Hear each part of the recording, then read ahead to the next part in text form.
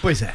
Muito bem, é, eu queria retomar então agora só o tema da reforma da Previdência, porque nesse momento a gente tem aqui na ponta da linha o deputado Marcelo Ramos, do PR do Amazonas, que gentilmente nos atende aqui, atende ao 3 em 1, ele que foi escolhido hoje para comandar a comissão especial onde a PEC, a proposta de emenda à Constituição, vai tramitar. Deputado, é, muito boa tarde, mais uma vez obrigado por nos atender. Quem fala é o Silvio Navarro, depois passarão aqui na linha é, com você os demais é, integrantes do 3 em 1. Desejo sorte nessa jornada que será longa. E a minha pergunta, é, bem brevemente, eu queria saber qual é o cronograma real, qual é o calendário realista para se votar a reforma nessa comissão. O senhor pretende dar celeridade? Como é que vai funcionar os trabalhos a partir de agora? Primeiro, boa tarde, Silvio. Boa tarde, Vera, Carlos, Alexandre. Uma alegria falar com vocês, admirador do trabalho de vocês. A imprensa vai ter um papel fundamental nesse momento tão importante é, da vida do país. Eu é, não vou dizer que fui surpreendido, porque já havia um movimento da, da maioria das lideranças partidárias em torno do meu nome, mas não havia nenhuma sinalização oficial em relação a isso. Portanto, eu me afastei das últimas, das últimas articulações e não reivindiquei essa posição acabou que o meu nome foi entendido como um nome que construía melhor um consenso é, das lideranças partidárias. Portanto, o que eu tenho de informação é o que eu construí hoje. Uma agenda mínima de terça-feira que vem, no dia 30, reunir com o vice-presidente, o relator, algumas lideranças e, em consultando o presidente da Câmara, que não estará em Brasília, montar um plano de trabalho para apresentar numa reunião na terça, dia 7, às 11 da manhã, aos coordenadores partidários da comissão e a partir das 15h30 do próprio dia 7 iniciar os trabalhos. Por enquanto, até que eu tenha uma nova conversa com o presidente da Câmara, deputado Rodrigo Maia, o meu calendário é o dele. E o calendário dele é o calendário de tentar votar em julho. Não é algo fácil, mas eu esforçar-me-ei para conseguir cumprir esse calendário além dos interesses do povo brasileiro. O Brasil precisa virar essa página da reforma para enfrentar outros temas tão fundamentais e estruturantes para o país. Deputado. Eu hoje conversei com a oposição, desculpa, Vera, eu hoje conversei com a oposição, eu já concluo, e disse a eles o seguinte: vocês terão todo o meu respeito, serão respeitadas todas as regras regimentares de obstrução, eu entenderei a necessidade de criação de fatos políticos para demonstrar a resistência de vocês ao projeto. No entanto, votar o projeto e derrubar é democrático. Votar e aprovar é democrático. Votar, emendar e aprovar é democrático. Não votar não é democrático. Portanto, eu cumprirei a minha missão de colocar o projeto em condições de que seja votado no prazo mais rápido possível para que nós possamos tomar uma decisão que é fundamental para o futuro do país, que necessita urgente de um ajuste fiscal para voltar a ter perspectiva de um futuro de retomada de crescimento.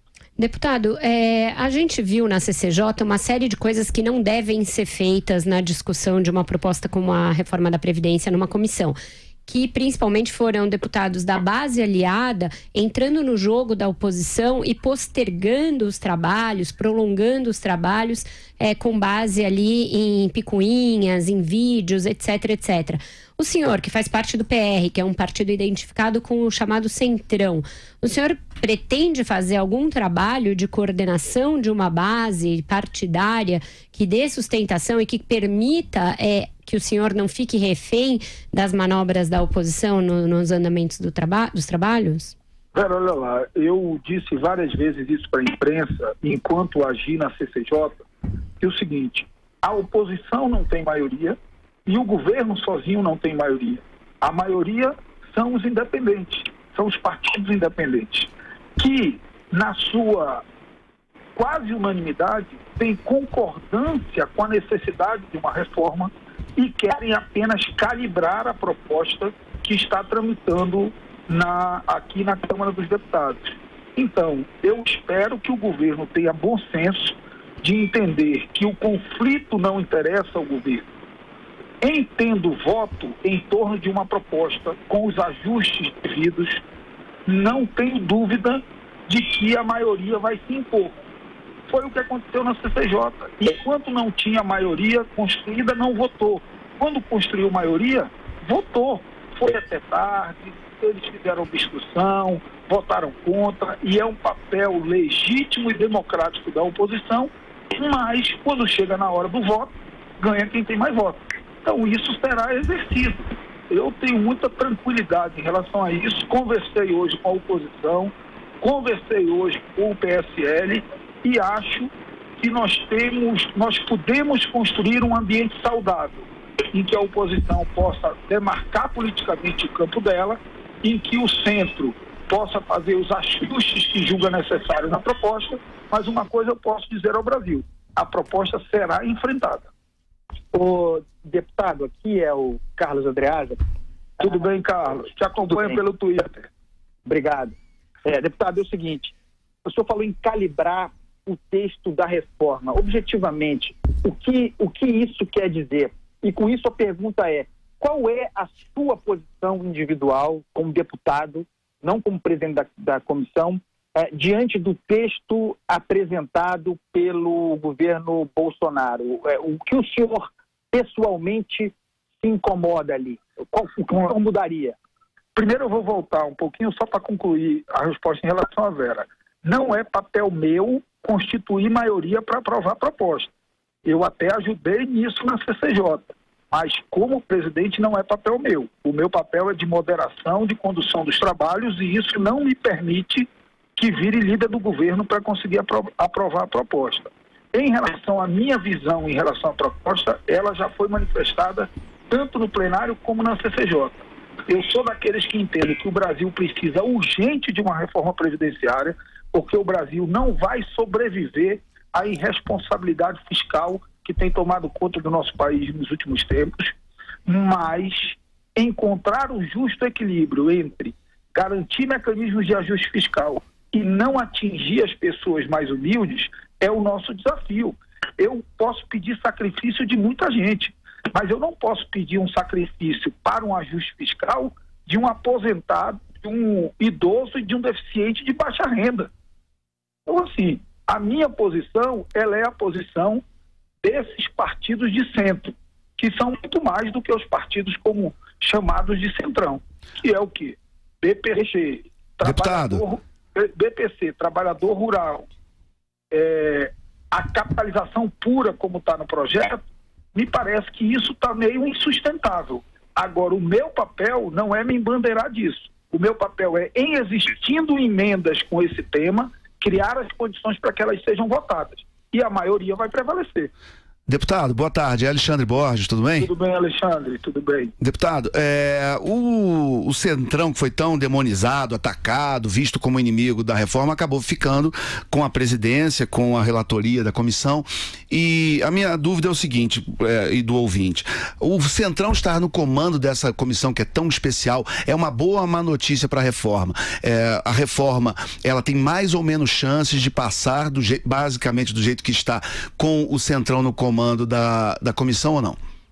Olha, primeiro, eu quero dizer que a construção é, de eu ser hoje, de eu ter hoje o posto de presidente da Comissão de Constituição e Justiça, ela é muito maior do que o Centrão. Então não dá para me carimbar de Centrão. Eu tive a simpatia do líder do PSB, do líder do PCdoB, do líder do PT, eu tive a simpatia do líder do PSD, do líder do PSL, então não dá, não, não vai conseguir me carimbar como ah, um representante do Centrão. É muito mais do que isso.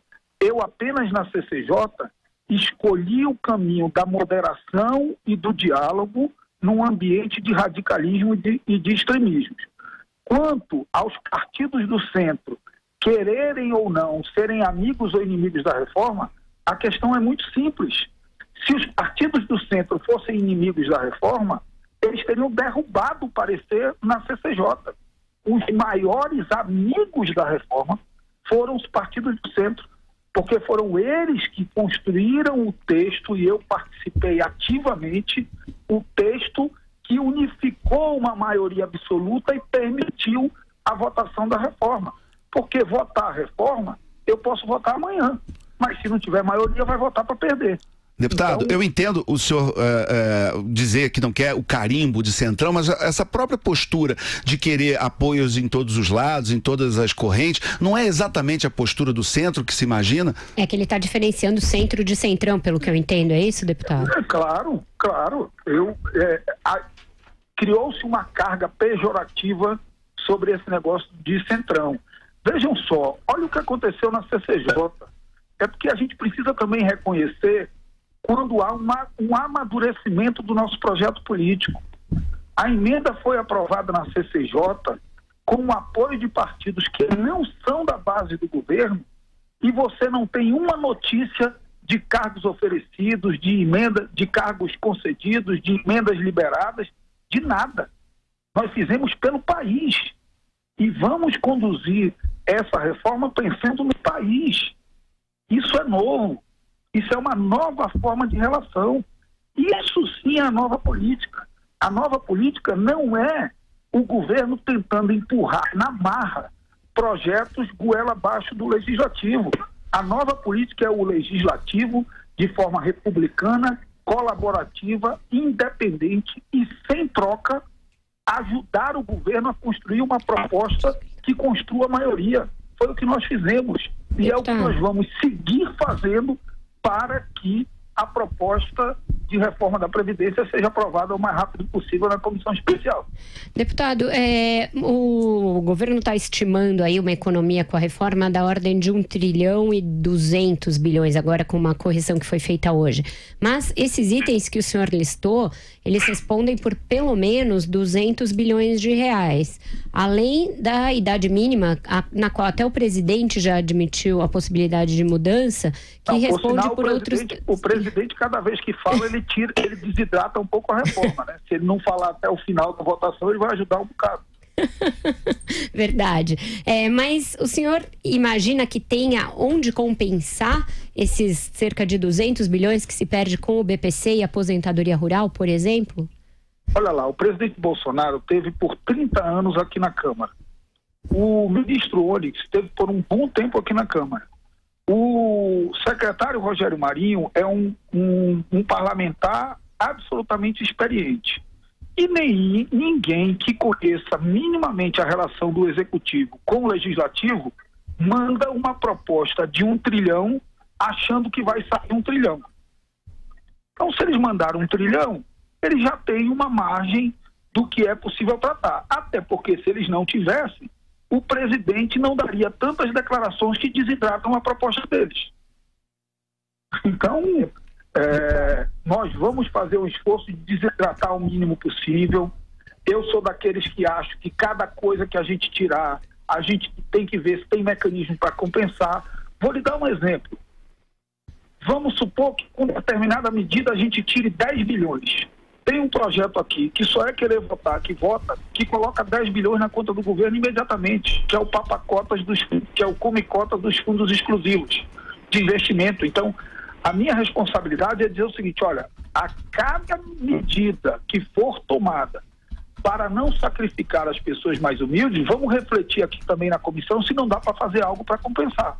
Talvez nem tudo consiga compensar, mas eu garanto a vocês que esse esforço será feito. Deputado, é, para tentar sentir o pulso né, é, do, do, parlamento, o senhor é um representante é, importante do parlamento para presidir a comissão, queria fazer uma pergunta objetiva sobre um dos pilares dessa reforma da Previdência. Idade mínima. O senhor é a favor, o senhor fica, se sente confortável com as idades, as idades mínimas estabelecidas no projeto do Paulo Guedes, 65 para homens, 62 para mulheres, o senhor está fechado com esse número? Olha lá, eu, eu concordo com isso e concordo com uma outra coisa. A Previdência, ela não é uma cesta de bondades. A Previdência, ela é fruto de um cálculo atuarial. Um dos fatores desse cálculo é a idade. Se muda a expectativa de vida, é óbvio que tem que mudar a idade mínima.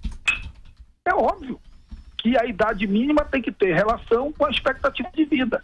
Hoje a expectativa de vida aumenta vai chegar uma hora, isso é cíclico, que ela vai começar a diminuir. Quando ela começar a diminuir, também tem que diminuir a expectativa de vida para reequilibrar o cálculo atuarial. Então, acho que tem questões que são tão óbvias que só não tendo bom senso para não querer enfrentá-las.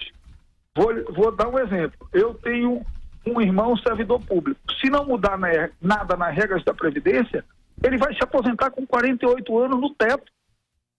Isso não é justo. Não é justo com o país. Não é justo com o país. Todo mundo acha que reforma da Previdência é importante, desde que ela seja feita no quintal do vizinho. Não tem jeito. É necessário uma parcela de sacrifício de, de cada um para que a gente tenha um país equilibrado do ponto de vista fiscal. E eu prefiro dizer a verdade para o povo. Eu não vou olhar para as pessoas dizendo que essa reforma da Previdência é só para combater privilégio. Ela não é. Ela é para fazer ajuste fiscal e também combate privilégios de forma tangencial e paralela. Porque se ela fosse só para combater privilégios, a gente aprovava uma emenda dizendo que quem recebe até dois salários mínimos está é, fora da reforma e estava tudo resolvido. Mas ela não é. Ela vai exigir sacrifício também dos mais humildes. Claro que o sacrifício dos mais humildes tem que ser menor do que o sacrifício dos mais ricos. Isso é justo em qualquer país. Então, eu acredito que idade mínima é um tema que não tem nem que discutir. Tem que ter. Ah, é 65, é 60. Eu, eu acho que o que está proposto é razoável, mas vamos ver o que, que surge de argumentação na comissão. Agora, ter idade mínima e essa idade mínima ter relação com a expectativa de vida, aumentando quando aumenta a expectativa de vida, é, me parece absolutamente óbvio. Muito bem. Muito bem, deputado, mais uma vez quero agradecer a gentileza de ter conversado com a gente aqui do 3 em 1. Desejo sorte nessa jornada que será Eu longa. A Jovem Pan apoia a reforma da Previdência. Então, muito obrigado que a gente possa conversar ao longo dos próximos meses. Muito obrigado. Eu quero agradecer e repetir que a imprensa vai ter um papel fundamental nesse processo. Eu estarei sempre aberto a prestar conta de todas as ações e garanto a vocês e ao povo brasileiro que os nossos trabalhos serão absolutamente transparentes e que, óbvio, ao final terá gente que concordou, que discordou, mas todos saberão que as bases do que será construído eh, dentro da comissão serão bases republicanas, éticas, de quem está pensando em fazer o melhor pelo país. Um grande abraço e que Deus me dê aí sabedoria, discernimento para enfrentar esse momento tão importante da minha vida, mas do futuro da nossa gente. Muito obrigado, uma boa tarde para o senhor.